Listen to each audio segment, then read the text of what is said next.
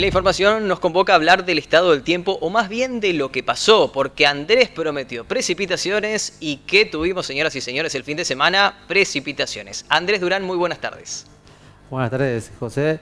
Buenas tardes a toda la audiencia. Y sí, la verdad que tuvimos las precipitaciones después de dos semanas prácticamente de condiciones de tiempo bueno, una primaverita, podemos decir que tuvimos en este pleno mes de mayo, pero llegaron las precipitaciones y la verdad que ahí estamos compartiendo, gracias al señor director, estamos compartiendo los datos de precipitaciones de todo el fin de semana. Estas lluvias acumuladas son desde el sábado que empezó a llover hasta el día de hoy, esta mañana. La verdad que se registraron buenos, buenos milimetrajes, era lo que estábamos esperando. Habíamos dicho que se iban a registrar entre 40, 50 en algunas localidades puntuales y algunas se excedieron. En la ciudad de Resistencia cayeron 37 milímetros durante todo el fin de semana hasta el día de hoy, lunes, Barranqueras 11, en Corrientes 42, en San Peña 8, son las ciudades más importantes, pero fíjense en las ciudades donde más precipitó, que fueron San Bernardo con 94, Samú con 80, Clotilde con 78, Villaverde con 73, Miraflores con 80, Huichi Pintado con 70. La verdad que mucha, mucha agua caída, sobre todo en el oeste de la provincia del Chaco. Y para que puedan eh, eh, referenciar y saber cuánto significa esto en el mes de mayo,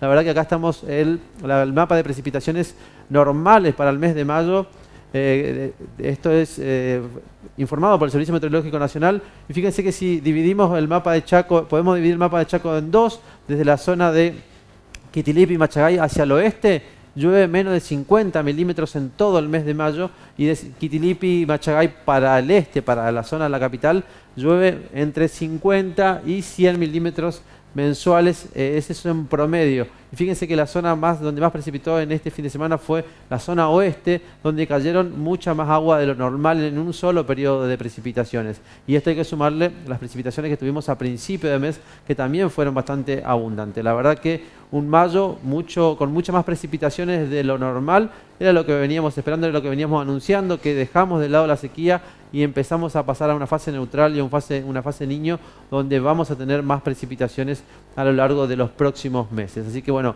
un buen episodio de lluvias en toda la región, no solamente en la provincia del Chaco, en todo alrededor, y destaca la ciudad de Las Lomitas, donde en 24 horas, eh, la Lomita que queda en el oeste de Formosa, que en 24 horas cayeron 115 milímetros, informado por el Servicio Meteorológico Nacional, así que la verdad que mucha, mucha agua caída en toda nuestra región. Así que bueno, pero dejamos de lado la lluvia, empezamos a hablar de lo que va a suceder en el día de hoy y pasamos a hablar de la imagen satelital, haciendo un análisis de lo que está sucediendo en este momento, para luego hablar del pronóstico. Si parece, señor director, vemos la imagen satelital. Y fíjense, cambiamos el, el canal por donde estamos viendo las imágenes satelitales. Canal se le dice al sensor del satélite, lo que estamos viendo es la imagen visible y fíjense que se ve claramente una mancha blanca nubosa atravesando de norte a sur en toda, todo el país que llega aproximadamente hasta la provincia de Buenos Aires. Fíjense, toda esta mancha blanca nos está indicando que hay una gran cobertura nubosa en toda esta región, nos está indicando que hay muchísima humedad y también eso está incluida la provincia del Chaco, Formosa, Santiago del Estero, Santa Fe, gran parte de Corrientes y por eso se mantiene el cielo nublado. Va a ser difícil que esta masa nubosa se corra completamente, pero sí se va a ir disipando lentamente y el sol va a ir ganando terreno en el transcurso de las próximas horas y también en el, día de mañana. En la provincia de Buenos Aires en particular, en el sur, se están desarrollando algunas tormentas intensas que en esta imagen no permite verlo con claridad, pero se están desarrollando algunas tormentas intensas y hay una alerta emitido, eh, una alerta amarilla emitida por el Servicio Meteorológico que da cuenta de que pueden eh, generarse tormentas severas en ese sector.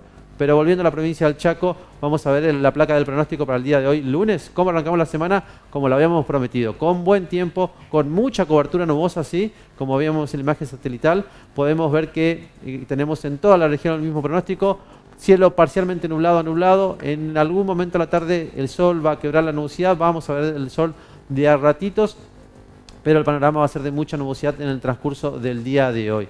Las temperaturas mínimas estuvieron bastante altas debido a la gran cobertura nubosa, mínimas entre 16 y 17 grados en toda la región y máximas que con suerte llegarían a los 25. En este momento estamos con 21 22 grados centígrados, viento del noreste y va a ser las condiciones de viento que van a reinar durante todo el día de hoy. Se, se, podrían esperar algunas gotitas en algunos puntos de la ciudad, pero no se esperan lluvias generalizadas ni tampoco va a ser algo eh, que va a generar inconvenientes. Algunas gotitas dispersas en, en, algún punto de la ciudad solamente.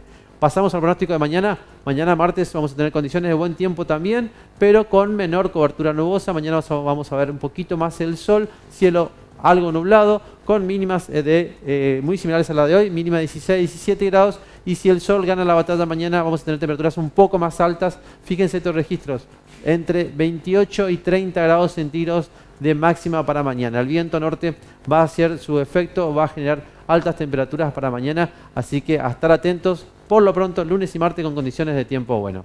Andrés, ¿y el frío para cuándo? Porque en la semana de mayo estamos acostumbrados a ver en los manuales días lluviosos, días grises, tal vez como los de hoy, pero con paraguas, aunque bueno, la discusión de si existían o no los paraguas. pero el frío, ¿hay alguna señal, alguna aproximación? Hay una señal clara, hay una señal clara de que el sábado y el domingo entraría un frente frío muy intenso con temperaturas muy bajas. El sábado va a estar ingresando en, en, la zona central del país, en la zona sur, y eso va a ir avanzando y va a estar llegando el domingo a últimas horas al norte del país y se prevé que tengamos mínimas por debajo de 10 grados centígrados, bastante por debajo de 10 grados centígrados hacia el comienzo de la semana que viene, hacia el día lunes recién. Así que, pero falta mucho, vamos a ir actualizando el pronóstico.